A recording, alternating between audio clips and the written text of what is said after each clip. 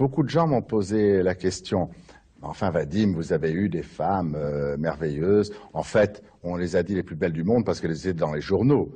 J'en ai connu de plus belles que celles que j'ai épousées, mais comme elles n'étaient pas dans les journaux, on n'en a pas parlé. Il a pu me faire tourner un film qui était Dieu crée la femme, qui m'a permis d'être absolument comme j'avais envie d'être. C'est-à-dire à, l'époque, on maquillait les actrices, on les coiffait. Moi, j'avais envie d'être libre, naturelle, de jouer comme j'avais envie de jouer, c'est-à-dire à l'époque très mal. Mais enfin, il m'a laissé euh, être comme ça. Je crois que je suis sur euh, la liste, euh, quand je dis sur la liste, en tête de, liste des ennemis publics numéro un, j'allais dire des mal publics numéro un.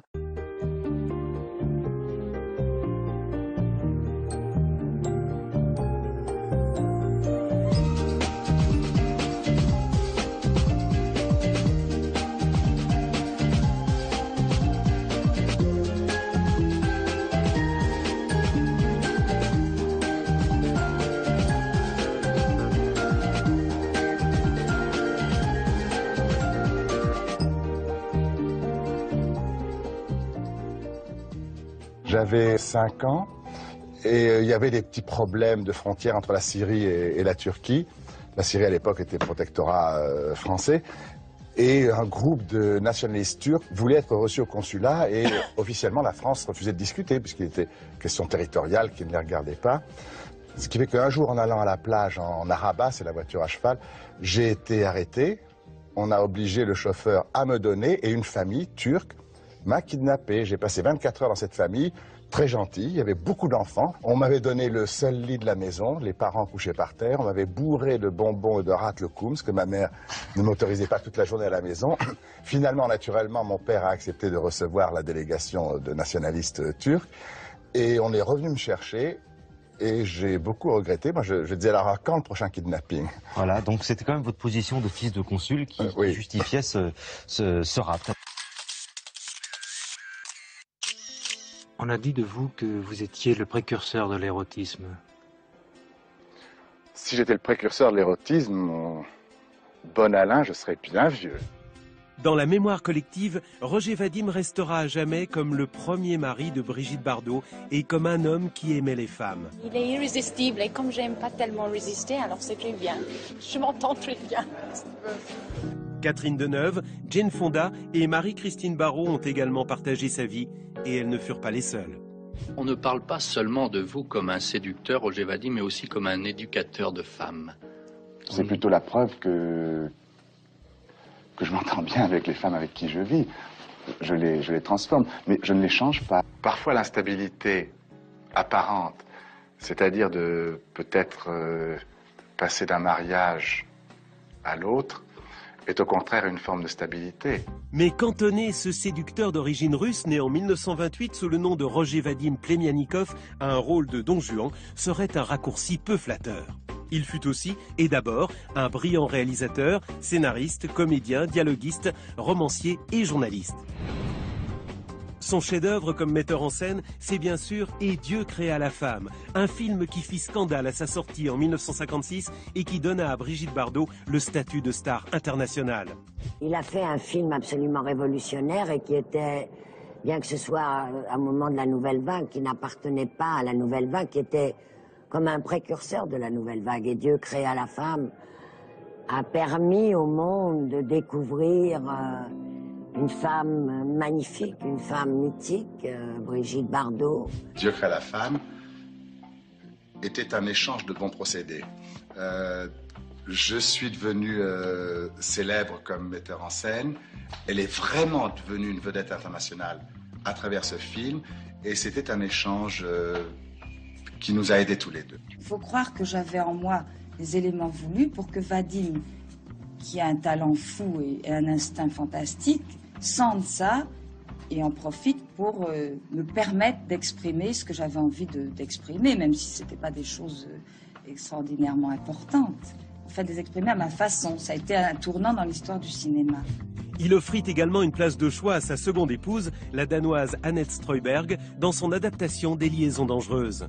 Liaison puis mariage avec Annette, qui devint la mère du premier de ses quatre enfants.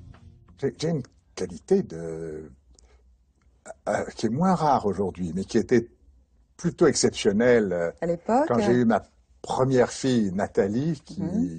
Voilà qui a- Nathalie. qui a, qui a maintenant euh, plus de 35 ans, j'ai toujours très bien su euh, m'occuper des enfants.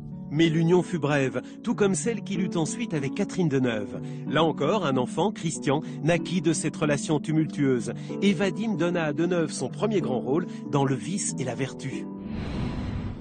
Vint ensuite Jane Fonda, qui joua également dans plusieurs de ses films, dont Barbarella, le dernier grand succès de Vadim comme réalisateur. Quand on parle de Roger Vadim, on, on dit le séducteur. Qu'est-ce que vous en pensez? Je crois que c'est absolument vrai.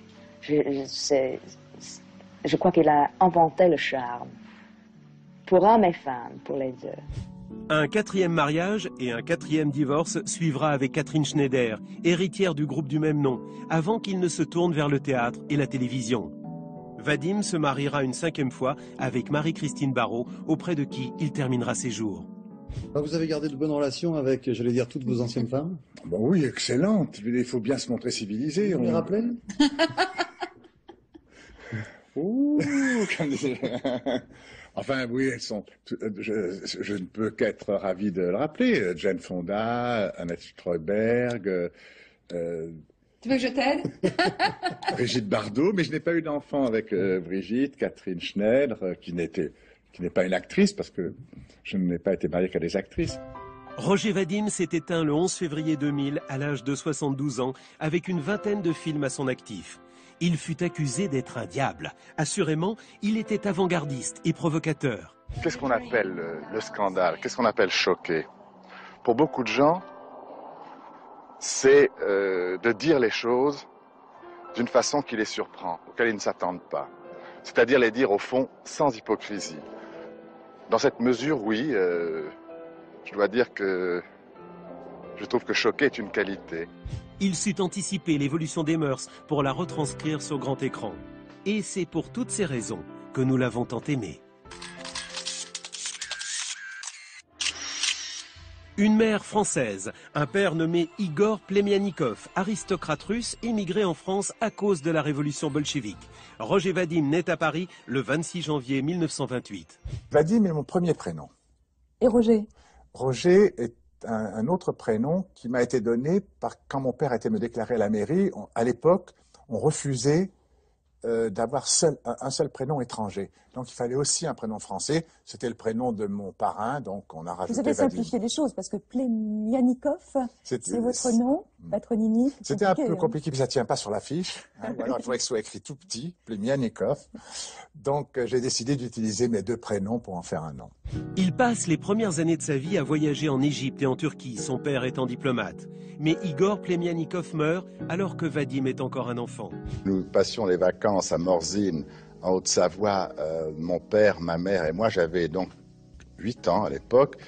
Quand mon père est mort sous mes yeux euh, un matin pendant le petit déjeuner, et euh, on s'est retrouvés du jour au lendemain, passant des, des contes de mille et une nuits à Émile Zola. Ma mère n'avait plus un sou, on a vécu vraiment sans argent. Quand je dis sans argent, c'était vraiment sans argent. Vadim, sa sœur et sa mère, bientôt remariés, s'installent dans un hameau de la commune des Jets, en Haute-Savoie.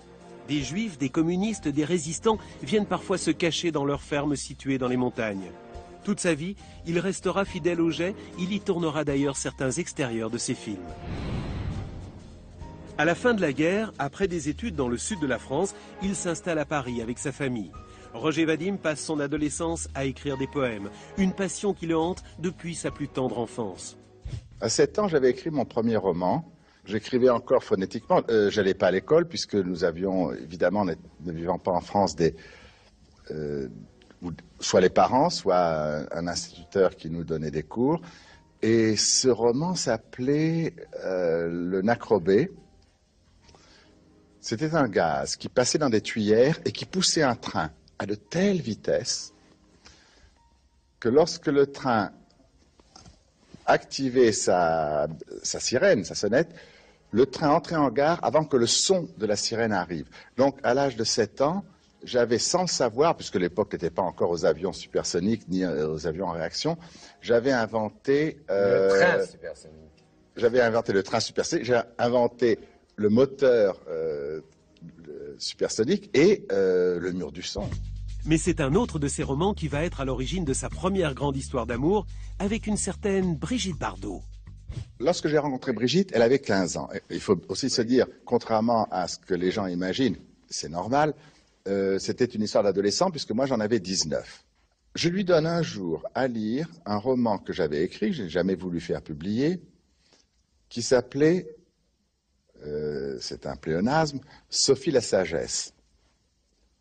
Or, le héros de Sophie la sagesse, qui s'appelait Sophie donc, parlait exactement comme Brigitte, lui ressemblait comme une jumelle. Quand je l'ai rencontrée, je l'ai reconnue, mais je l'ai reconnue au point que son dialogue était le même. Enfin, le fameux dialogue de Brigitte, sa façon de parler qui était qui a fait partie de sa célébrité, de son charme euh, euh, jusqu'à aujourd'hui. Elle, elle l'a gardé, euh, ce côté direct, amusant, un petit peu insolent sans être vulgaire.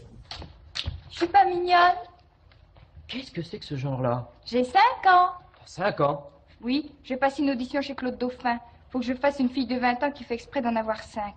Ah bah c'est pas dégueulasse. Mais tu sais, 5 ans pour moi c'est un peu jeune. Hier, j'en avais 25. J'étais voir un producteur pour un rôle de vampe. Hum, si tu m'avais vu.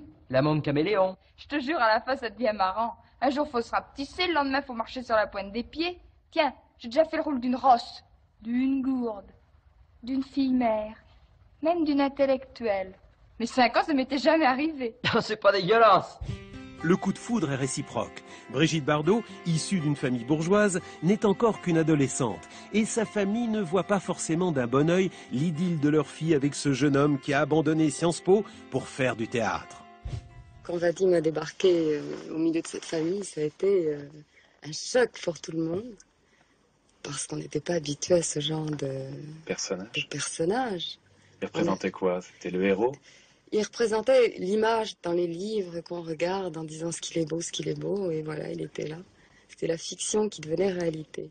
Il a été accepté pas tellement facilement. Papa avait un, un revolver dans son bureau et avait dit, euh, avait montré ce revolver à, à Vadim en lui disant si euh, vous touchez ma fille, je me sers de ce revolver.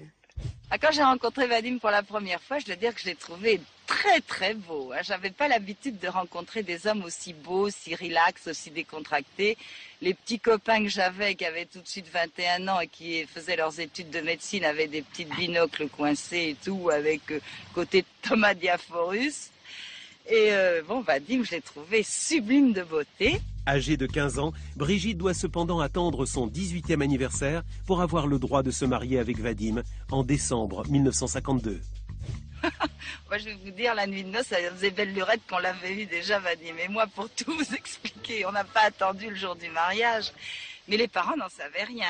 Les parents, pourtant, avaient été très précis, très stricts. euh, avant 18 ans, tu n'épouseras pas Vadim. Or, pour elle, la seule façon de pouvoir vivre avec moi était de se marier, non seulement se marier euh, civilement, mais se marier à l'église. Et nous voilà partis à la mairie du euh, 16e arrondissement, et puis on rentre à la maison, et puis le soir arrive, et il est 10 heures du soir, et je suis assis euh, au bord du lit euh, en train de parler avec Brigitte, qui était, elle, en chemise de nuit et prête euh, à vivre sa nouvelle vie de, jeune épousée, de femme mariée, lorsque le père, qui s'appelait Pilou, entre et très sérieusement, avec ses lunettes et son air très digne, me dit, eh bien, Vadim, je crois que la décence maintenant euh, nous recommande de, de vous demander de quitter cette chambre. Alors, Brigitte change de couleur, elle devient mais, pourpre. Elle dit, qu'est-ce que tu racontes? Il dit, mais chérie, euh, tu ne vas quand même pas laisser euh, Vadim, nous l'aimons beaucoup, comme tu sais, mais euh, rester plus longtemps, ça n'est pas convenable. Dit, mais c'est mon mari. Pardon? Demande le père. Dit, c'est mon mari, j'ai attendu assez longtemps. Il dit, ah non, non, non. Il sera ton mari demain à midi et demi, après la cérémonie religieuse en l'église d'Auteuil. Alors, j'ai vu euh, qu'elle allait littéralement exploser, d'ailleurs, comme une bombe, une mine, une baudruche trop gonflée. Alors, je l'ai calmée, je lui ai dit, écoute, trois ans, dix heures, repose-toi tranquillement. Et j'ai donc passé ma nuit de noces euh, un peu solitaire euh, sur le sofa de la salle à manger. Ça a été ma dernière soumission de petite fille à mes parents. J'ai accepté que Vadim retourne dans sa chambre. Pour pouvoir épouser Brigitte, Roger Vadim a dû faire deux concessions à cette famille bourgeoise du 16e arrondissement de Paris. Se convertir au catholicisme et trouver un emploi stable. C'est ainsi qu'il est devenu journaliste pour Paris Match et l'expérience va durer jusqu'en 1956. Donc journaliste, euh, oui, d'abord parce que c'est visuel, c'est intellectuel, on écrit, on voit, on bouge, ça se marie bien avec le métier de metteur en scène. C'est alors qu'à 28 ans seulement, il réalise son premier film, pas n'importe lequel, et Dieu créa la femme est une bombe absolue. Il a pu me faire tourner un film qui était Dieu créa la femme, qui m'a permis d'être absolument comme j'avais envie d'être. C'est-à-dire à, l'époque, on maquillait les actrices, on les coiffait. Moi, j'avais envie d'être libre, naturel, de jouer comme j'avais envie de jouer, c'est-à-dire à l'époque très mal. Mais enfin, il m'a laissé euh, être comme ça. Et lui, en même temps, il a pu, par la même occasion, prouver qu'il était un merveilleux metteur en scène. Tourné en décor naturel à Saint-Tropez, le film est considéré par certains comme l'avant-garde de la nouvelle vague. Mais surtout, il fait scandale. Le sexe n'est plus un péché, les garants de la morale sont offusqués. Tous mes films sont euh, empreints d'un romantisme forcené. Euh, la raison pour laquelle le scandale s'est attaché à ses premiers films tenait à deux choses. D'abord parce que j'avais été le, pas le premier, euh, à le dire, mais enfin un des premiers à l'exprimer devant des centaines de millions de spectateurs, de dire que les femmes n'avaient pas à se sentir coupables ni de leur sexualité ni de leur corps, mais aussi parce que euh, on ne comprenait pas très bien qu'un mari déshabille sa femme à l'écran. On l'acceptait peut-être euh, d'un peintre, mais pas d'un cinéaste. Ces deux éléments qui, au niveau, de la morale à l'époque, choquaient, ont, donné des réputations euh, de scandale à mes films, une odeur de soufre qui n'existait pas. Un slogan de l'époque disait Dieu créa la femme et le diable inventa bébé. Le mythe Bardot était né, Vadim l'avait créé. Le film n'est pas bien reçu en France, contrairement aux États-Unis où il triomphe. Jamais par la suite Vadim ne connaîtra un tel succès. Beaucoup de de gens très intelligents ont dit que le succès est difficile. Ce qui est encore plus difficile, c'est de durer. Faire des films à la fois commerciaux et qui soient de bons films, à tous les coups, non, c'est pas facile. Sur le tournage du film, Brigitte Bardot est tombée amoureuse de son partenaire à l'écran, Jean-Louis Trintignant. L'histoire avec Vadim se termine après 7 ans de relation et 4 ans de mariage. Reste que Bébé continuera à tourner dans ses films, et notamment dans Les Bijoutiers au clair de lune, son troisième long métrage, sorti en 1958. Mais ce film est un échec, comme le précédent intitulé Sait-on jamais? En clair, Vadim a du mal à se remettre du triomphe et du scandale de Et Dieu créa la femme. si on pouvait trouver la raison pour laquelle on a du succès, euh, je ne sais pas, je créerais un institut pour expliquer ça aux gens, je gagnerais beaucoup d'argent sans avoir à travailler. Les critiques lui tombent dessus, tout comme les gens du métier.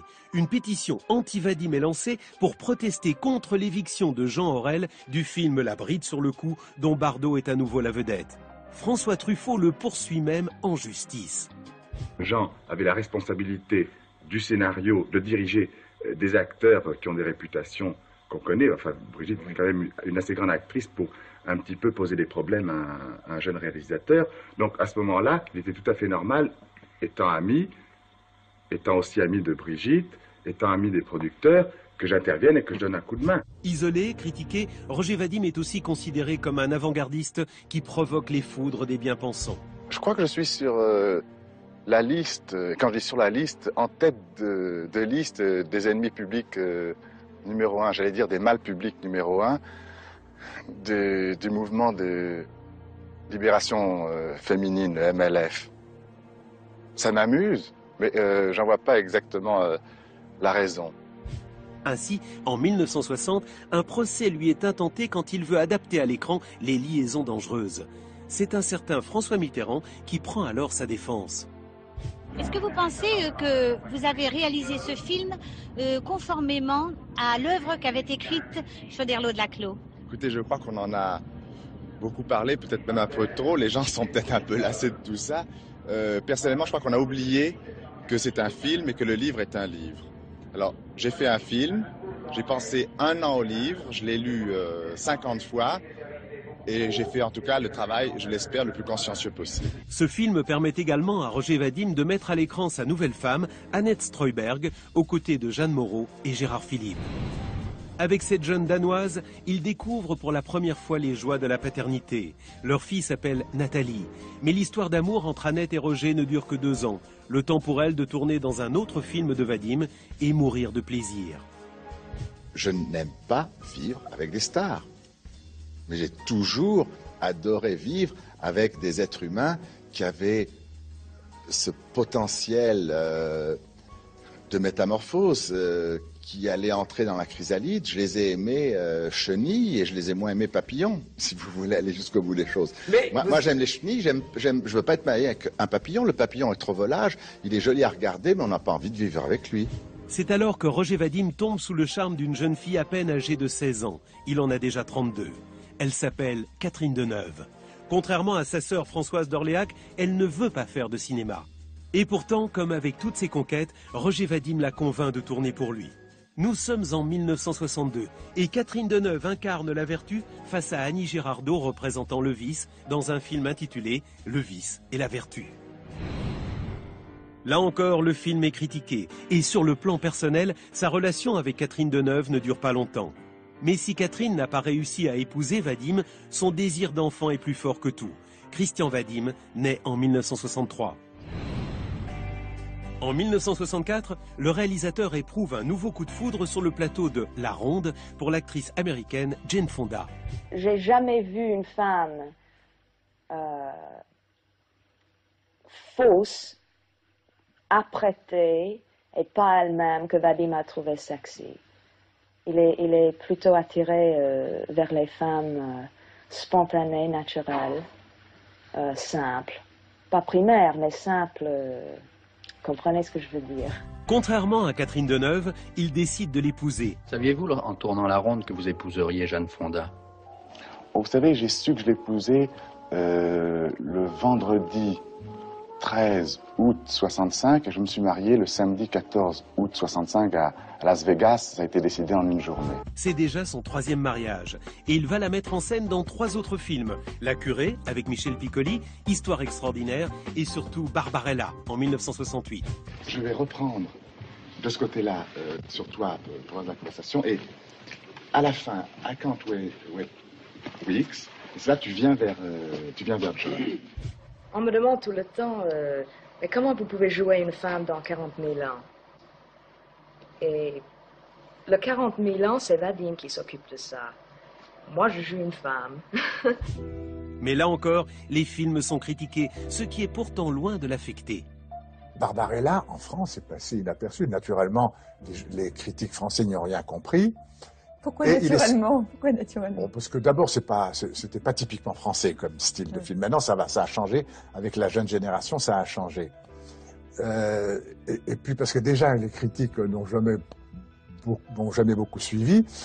Alors en plus, sur un sujet comme ça, je m'attendais d'ailleurs pas à ce qu'ils comprennent.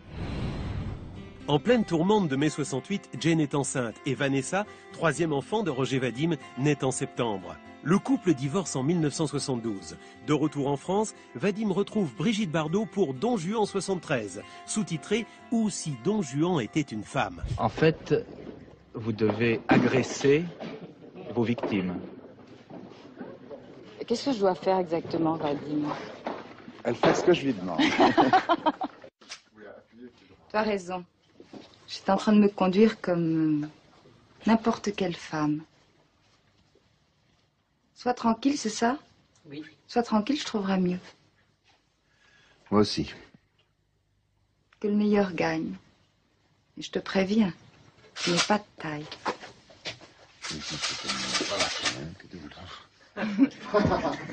Chaque film est un tournant parce que on peut très bien le réussir ou le rater. Et celui-là, euh, c'est un virage dangereux. Les critiques s'empressent de dresser des comparaisons peu flatteuses avec Et Dieu créa la femme. Malgré Robert Hossein, Maurice Ronet, Mathieu Carrière, Jane Birkin et Brigitte Bardot, les critiques de cinéma ont boudé, le public a sifflé. Faire euh, l'unanimité toujours, certains metteurs en scène y arrivent. Pas moi. Vadim le séducteur se marie pour la quatrième fois en 1975 avec Catherine Schneider. Un fils naîtra de leur union, mais ils divorcent deux ans plus tard. Commence alors une longue traversée du désert cinématographique. Du coup, Vadim se tourne vers le théâtre et la télévision. En 1988, il rencontre Marie-Christine Barrault, qu'il épouse deux ans plus tard. Le don Juan, l'homme à femme, le séducteur patenté, trouve enfin la sérénité. Quand on a la chance de rencontrer la personne, la personne, il y en a une finalement, le monde est, est grand mais il y en a une, et qu'on la rencontre, c'est tellement évident. Mais quelle déclaration d'amour, c'est extraordinaire. Ah, mais non? c'est- non mais c'est ma vie entière est une déclaration d'amour. Depuis que j'ai rencontré cet homme, la- le monde n'a pas la même couleur. Roger Vadim tourne alors avec Marie-Christine Barrault des téléfilms comme Un coup de baguette magique, Mon père avait raison ou La nouvelle tribu, une ode à la famille recomposée. Notre vie de famille la connaissance l'un de l'autre ne peut que nous aider professionnellement parce qu'on sait comment se répondre, on sait comment euh, s'aider. Je sais très très bien quand j'ai besoin d'une certaine émotion comment aider euh, Marie-Christine à la provoquer. Je connais ses euh, faiblesses, elle n'en a pas beaucoup. Je peux un petit peu les dissimuler. Je connais ses qualités, même secrètes. Je les ressors d'autant mieux. On s'entend très très très très bien. Beaucoup de gens m'ont posé la question. Enfin, Vadim, vous avez eu des femmes euh, merveilleuses. En fait, on les a dit les plus belles du monde parce qu'elles étaient dans les journaux. J'en ai connu de plus belles que celles que j'ai épousées, mais comme elles n'étaient pas dans les journaux, on n'en a pas parlé. Cinq mariages, quatre enfants issus d'unions différentes, des femmes toutes plus belles les unes que les autres, les clichés collés à la peau de Roger Vadim. La séduction euh, n'existe pas si euh, elle est consciente. Quand je rencontre une femme, par exemple, qui est trop consciente de sa beauté, trop sûre de son pouvoir sur les hommes, je la trouve absolument sans intérêt. Elle n'attire plus. Le charisme euh, a disparu. Si on parle de charme, c'est justement d'être naturel. Je crois que c'est euh, Balzac qui disait l'élégance, c'est de paraître ce que l'on est. Il finit par raconter ses aventures dans plusieurs livres de souvenirs ou romans, dont Le goût du bonheur. Gravement malade, Vadim meurt le 11 février 2000 à Paris des suites d'un cancer du poumon. Roger Vadim s'est éteint aujourd'hui à l'âge de 72 ans. Il aura su mieux que personne bousculer les conventions et le cœur des femmes. Personnage sulfureux entré de plein pied dans la légende, son œuvre se confond avec les actrices qu'il a découvertes et qu'il a mis dans la lumière. Il était verso, nous avons le même âge. Et quand on se rencontrait, on- trop rarement malheureusement, il disait deux versos dans leur petit berceau. Le style qu'il avait, lui, a, a désarçonné beaucoup de monde au départ. Je l'aimais beaucoup, beaucoup, vraiment. C'est un prince qui s'en va. Un vrai prince à tous les points de vue. C'était un, un grand bonhomme. Il manquera beaucoup au cinéma. Puis je crois que beaucoup de gens l'ont trahi dans sa vie. Et tous ceux qui étaient là sont ceux qui ne l'ont pas trahi parce que il a rejoint Gérard Philippe là-haut. Vadim est incinéré et repose désormais au cimetière marin de Saint-Tropez, non loin du cadre où il tourna son premier film à scandale et tout près de la Madrague, la propriété de Brigitte Bardot, sa première femme. Malgré lui, Roger Vadim dut sa notoriété tout autant à sa carrière qu'aux femmes qui ont traversé sa vie sentimentale tumultueuse. Brigitte Bardot, Annette Streuberg, Catherine Deneuve, Jane Fonda, Marie-Christine Barrault, son image de séducteur l'aura suivi toute sa vie. Et s'il n'a pas révolutionné le cinéma, il a tout de même contribué à dynamiter les codes de la morale. Et Dieu créa la femme fit scandale, les liaisons dangereuses faillit être censurées. Pour son anticonformisme, pour son autre manière de faire du cinéma, pour son engagement, pour toutes les femmes qu'il a sublimées, nous l'avons tant aimé.